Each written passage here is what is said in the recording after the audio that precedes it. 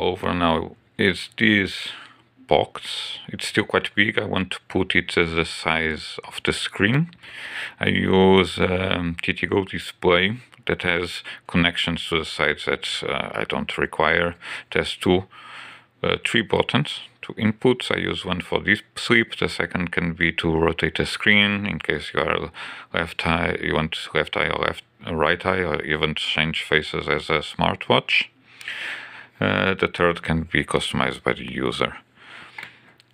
This small part here, it's the prototype now to use as a smartwatch. Gonna have the band around, then you just fit it here and you always use your power connector to fit and to make it secure. Now with one hand it's difficult to show and also in the monocle version you put it there and then you just fit it. I like this kind of connectors first because they are very um, practical. Eh? Not you don't want to damage these things, uh, but also because as a companion, if you're in the office, you can put it like this. You leave your phone to the side, and you have there small window. Let's say to the internet world where you can see what your colleagues are saying, and Ouver as also support for notifications. So you have your phone, and you can work calmly uh, with it. I hope that with the development of our community that soon we'll have uh, our own PCB open source obviously and that finally we can get to everyone. At this moment the electronic board you can say the TTGo I'm buying for 18 euros. Then I had it the battery that now I'm using inside uh, if you can say inside. Blah small 6 euros is a 500 uh, milliamps.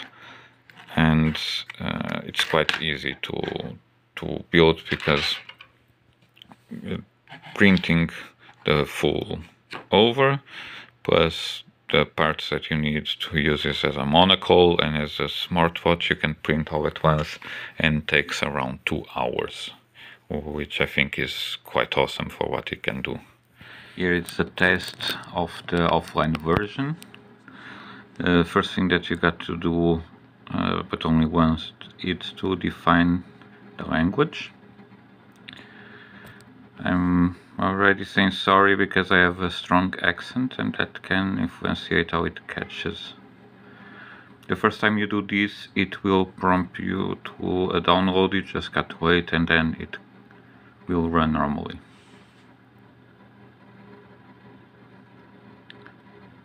now we loaded English you have the functions.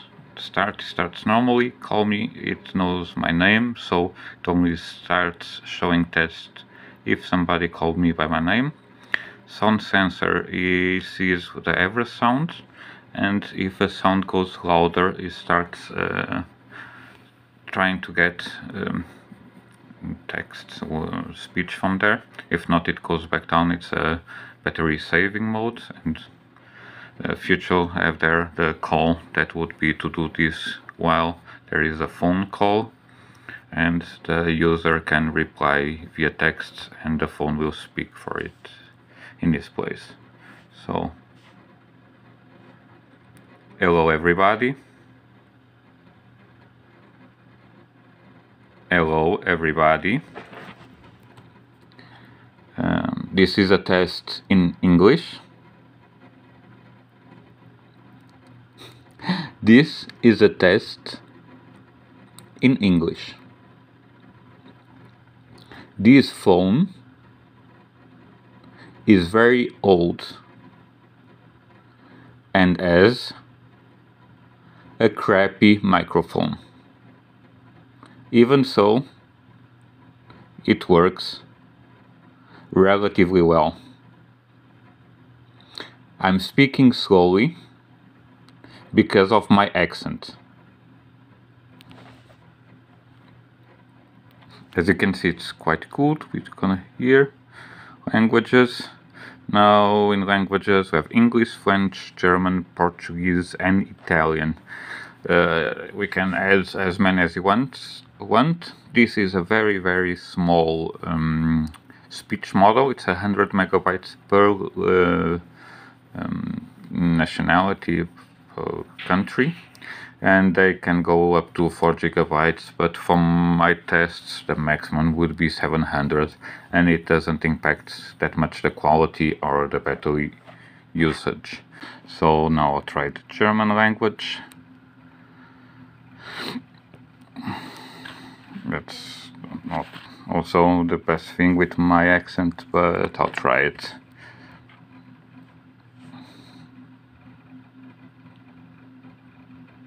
Hallo Leute. Wie geht's mit dir?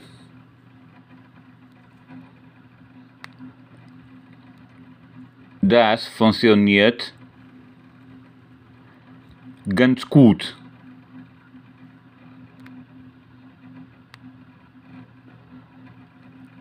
Ein große, großen Suale. So alle. Das ist besser, als ich hab gedacht.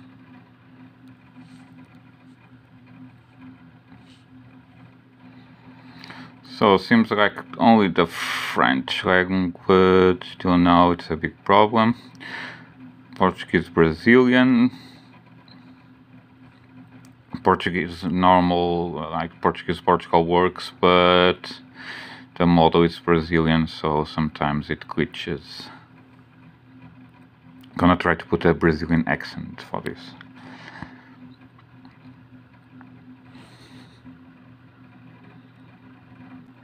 Estou falando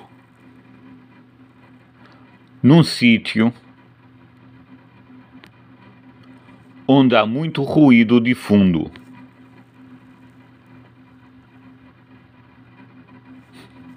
Onde? Onde? Tem de ser brasileiro.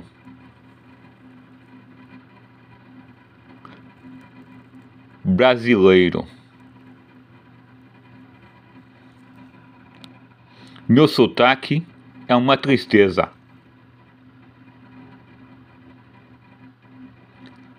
Uma tristeza.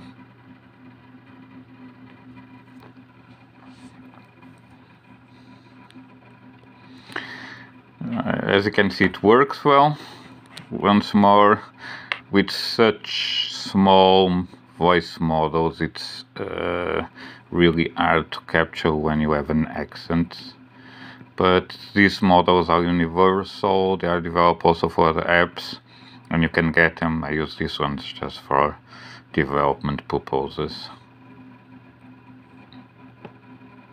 Never spoke Italian before, so I'll try now.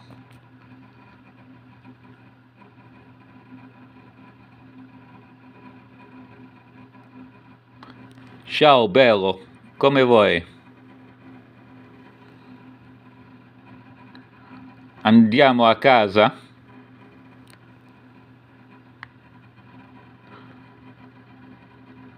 Questo è mi piccolino.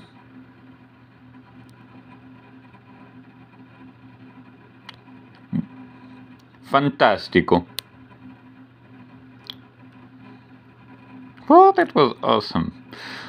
So next I'll try to show you all, because this is offline version, doesn't have still the connectivity over Bluetooth to the headset and to the blah because uh, I'm really bad at Android programming. Um, uh, the other one it's developed uh, in App Inventor that I, am relatively comfortable with and there it works. I hope that in the future as our community grows that we can eventually put them together. So I'll change now to the other one. So this is Ouver the online version with Google Engine. Google doesn't let us uh, recognize the text continuously only on the um, Pixel phones. If you use outside that, you'll get to or reboot every time there is a silence, or buy the service and it has costs. Um, I have the the program um, restarting the recognition from time to time, and that can create some problems uh, while capturing uh, voice. But like I said, the engine that we are using it's the other one. This is just to test some functions that I'm not able still to program on Android. We have this would be uh, more the settings and the uh, functions that I want. So can I have settings, change language, offline mode, uh, download the, of the voice files, turn on and off notifications. That will be shown on Ouver. Uh, play warning, like this. Oh, no sound, sorry. This will say this is used Please to talk calmly, clear and leave time between sentences. to help uh, people to work with the with the, captations um, as it is now. You can change the warning for another thing like sorry I don't listen can you please um, try to communicate slowly so my device can capture whatever you want. Here you have the connections to the devices. Once connected, you have action extra functions. I still, I'm still working on this. Still have uh, some glitches naturally. This is a beta, but even betas I want to turn public, so you can help when possible. Gonna try to connect now to Ouver the glitch that I have now just let me get the first text and then I don't know why the app the um, plugin that I have from App Inventor stopped sending the information to it. But soon this will be solved. Just need to waste a little bit more time. It's on. This I got to stretch a little bit to see everything connect to Ouver. Ouver here connected. Olá.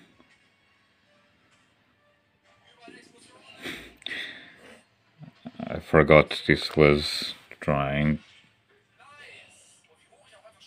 I forgot that this was uh, in English. Uh, now I stopped the captation so it's not sending. Here you're gonna have the display time of the text. Uh, and like I said, it's important to have the right language. Uh, here you can connect to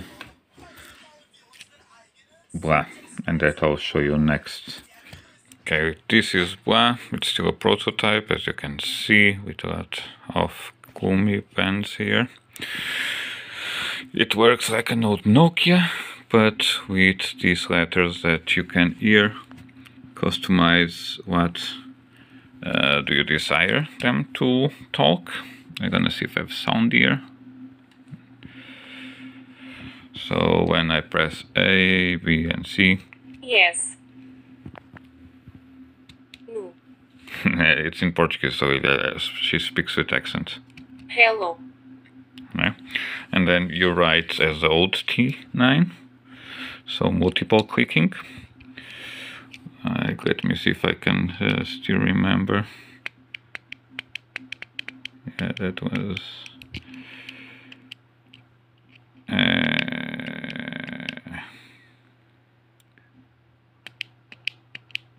well, and then you have here two big and small letters, the caps. Here is backspace.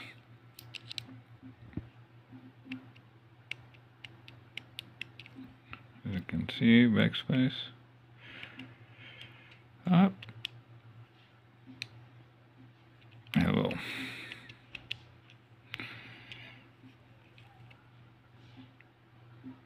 You can long press to get the numbers.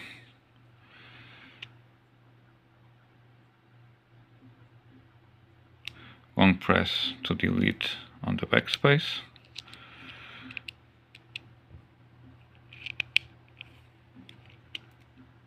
HJ.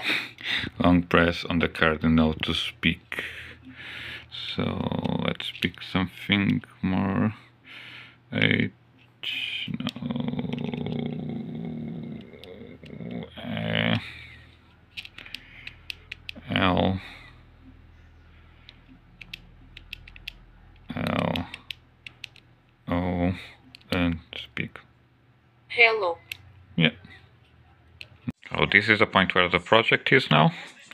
Uh, I don't think that I can do way, way more, but I'll do my best. I'll continue trying to make this a reality, but I would like to see um, community behind this to push it forward uh, so we can set a standard for what should be the next uh, main thing in accessibility.